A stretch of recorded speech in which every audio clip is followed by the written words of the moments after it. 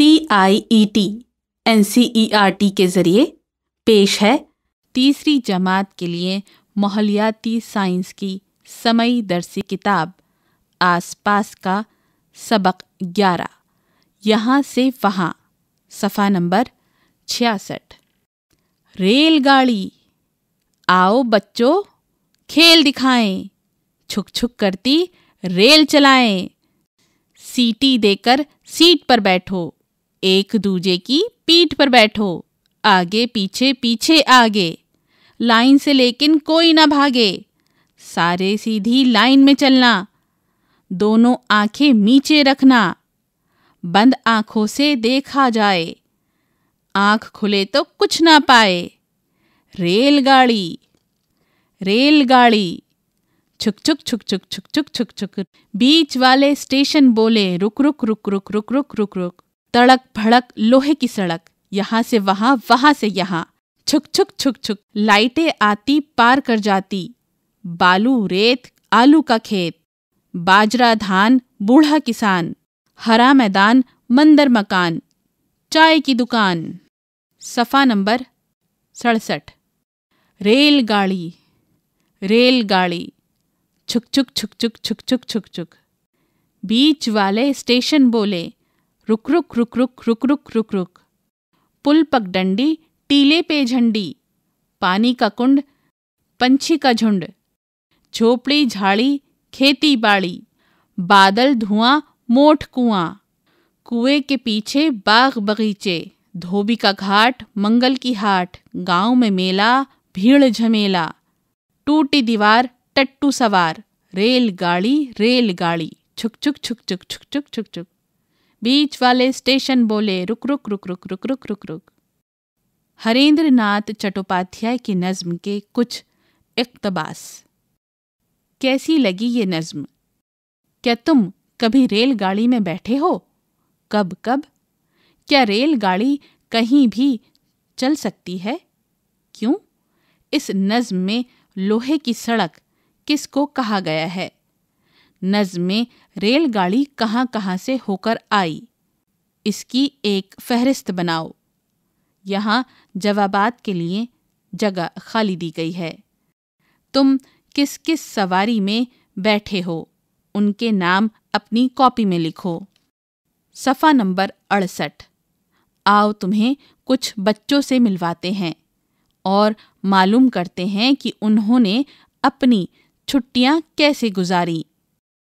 सफ़े की बाई जानब एक बच्ची की तस्वीर है और एक बस, एक रेलगाड़ी और कार की भी तस्वीर है। मैं अपने चाचा के पास दिल्ली गई थी। रेलवे स्टेशन से उनके घर पहले तो बस से जाते थे, लेकिन इस बार तो मज़ा आ गया। हम मेट्रो में बैठकर ज़मीन के नीचे सुरंग से होते हुए गए। सुरंग में जाते हुए एहसास ही नहीं हुआ कि कार उसके ऊपर सरपट भाग रही होगी। सफ़े की दाई जानब एक लड़के की तस्वीर है। यहाँ डोली और हवाई जहाज़ की तस्वीर दिखाई गई है। मेरी फूफी की शादी थी। इतने सारे रिश्तेदार मिले। खूब खाया पिया और खेले। बड़े भैया भी अमेरिका से आए थे जहाज़ में बैठकर। सोचो तो इतनी दूर से आए, लेकिन एक ही दिन में पहुँच गए। दुल्हन बनी फूपी को जब डोली में ले जा रहे थे, वो बहुत खूबसूरत लग रही थी। सफ़े की बाईं जानब एक लड़की की तस्वीर है और यहाँ टैक्सी, बस और नाव भी दिखाई गई है। मैं अपनी नानी के घर केरला गई थी। वो वहाँ रहती हैं। वहाँ हर तरफ़ पानी ही पानी है। उनके घर जाने के लिए हम स्टेशन से बस या टैक्सी ले सकते थे। लेकिन हम उनके घर सीधे नाव में गए। कुछ अजीब सा लगा, लेकिन मज़ा आया। सफ़ा नंबर उनहत्तर। इस सफ़े की दाई जानब एक लड़के की तस्वीर है। और बस और घोड़े की भी तस्वीर दिखाई गई है। हम लोग छुट्टियों में शिमला घूमने गए। ऊँचे ऊँचे पहाड़ों पर टेढ़े मेढ़े रास्तों से होकर बस चलती है।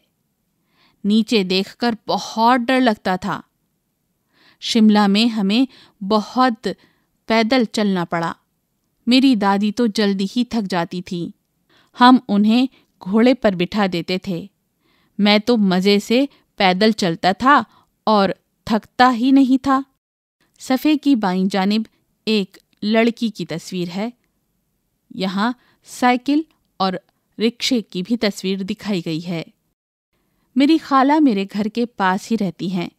जब भी खाला के पास जाने का दिल चाहता है, मैं झट अपनी साइकिल उठाती हूँ और उनके पास पहुँच जाती हूँ। मेरी माँ और छोटू रिक्शे में बैठकर नानी के घर जाते हैं। सफ़े की दाई जानिब एक लड़के की तस्वीर है और बैलगाड़ी भी दिखाई गई है। मैं अपने मामू के गाँव था। रेलवे स्टेशन से उनके गाँव तक कोई बस नहीं जाती थी।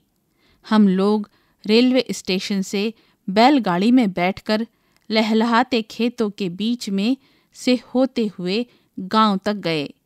मुझे तो बैलों के गले में बंधी घंटियों की आवाज़ सुनना बहुत अच्छा लगा। जानवरों की देखभाल और उनके तई वाबस्तगी, यानी कंपैशन को कमराए जमात में बातचीत करके फ़रोग दिया जा सकता है। सफ़ा नंबर सत्तर। बच्चों ने किन किन सवारियों में सफ़र किया? जवाबात के लिए खाली जगह दी गई है।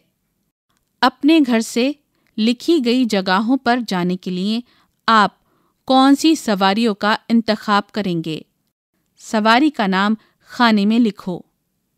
यहाँ एक तस्वीर दी गई है, जिसके मरकज़ में एक खाने में घर लिखा हुआ है। स्कूल, पहाड़ पर रहने, किसी रिश्तेदार के घर, नदी पार, समंदर पार नानी के घर, दोस्त के घर, बाज़ार, ये सभी जगहें दर्ज की गई हैं। बच्चों ने मुतद सवारियों को या तो हकीकत में देखा होगा या किताबों, फ़िल्मों वगैरह में। ये सभी तजुर्बात बच्चों से गुफ्तगु, यानी बातचीत करने में मावून हो सकते हैं। सफ़ा नंबर इकहत्तर कुछ सवारियों की तस्वीरें बनी हुई हैं। तस्वीर के सामने लिखो कि वो किस काम आती हैं। खाली जगह में तुम कुछ और सवारियों की तस्वीरें बनाओ। उनके नाम और काम भी लिखो। क्या ये सभी सवारियाँ सिर्फ़ तुम्हारे आने जाने के काम आती हैं? सफ़े की दाई जानब सवारियों की तस्वीर दी गई है, जिसमें ठेला डाकघर की गाड़ी। दिव्यांगों के लिए ट्राईसाइकिल माजूरों के लिए मखसूस साइकिल। ट्रैक्टर। सफ़े की बाई जानब काम उनवान से खाली जगह दी गई है, जहाँ पर आप इन सवारियों के ज़रिए किए जाने वाले कामों को दर्ज कर सकते हैं।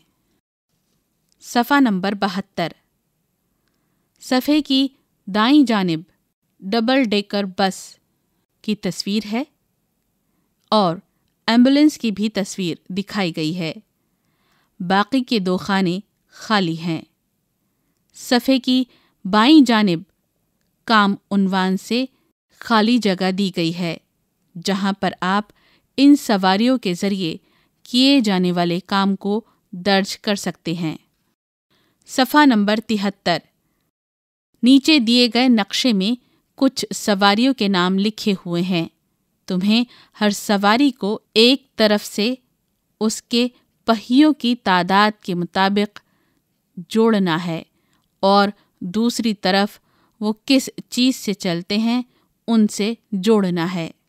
यहाँ एक गोल दायरा बनाया गया है, जिसके मरकज़ में लिखा है, बस, रेलगाड़ी, scooter rickshaw, car, metro, rail, cycle, ठेला, नाव, रेलगाड़ी, ट्रक। इस दायरे के वसी दायरे में लिखा है, बिजली से चलते हैं, पेट्रोल, डीजल या गैस से चलते हैं। दो पहिए, तीन पहिए।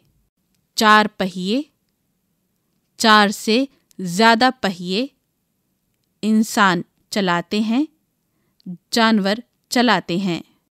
सफ़ा नंबर चौहत्तर। बड़ों से पूछकर मालूम करो, आज से पचास साल पहले लोग कैसे सफ़र करते थे? क्या तब भी यही सब जराए मौजूद थे? तुम अंदाज़ा लगा सकते हो कि 20 साल बाद लोग आने जाने के लिए किस तरह की सवारियों का इस्तेमाल करेंगे? अपने घर के लोगों और दोस्तों से पूछकर नीचे दिए गए जदूल को भरो। यहाँ एक जदूल दिया गया है, जिसके दो कॉलम हैं। पहले कॉलम का उन्वान है, किस से पूछा? दूसरे कॉलम का उन्वान है, उनके जवाब। पहला कॉलम किससे पूछा? खुद से, यानी तुम, दोस्त, चचा, उस्तानी। यहाँ जवाबात के लिए खाली जगह दी गई है। बुज़ुर्गों से हासिल की गई मालूम पर मबनी गुफ्तगु से बच्चों को सवारी, गाड़ियों में आई हुई तब्दीलियों को समझने में मदद मिलेगी। इसी वजह से किताब में नाना नानी, दादा दादी से बार बार मालूम हासिल करने की हौसला अफजाई की गई है, ताकि उस ज़माने और मौजूदा ज़माने के दरमियान होने वाली तब्दीलियों को बच्चे बखूबी समझ सकें।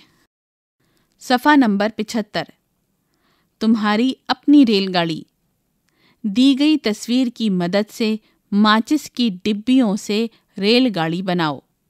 यहाँ माचिस के खाली डिब्बों से रेलगाड़ी बनाई गई है।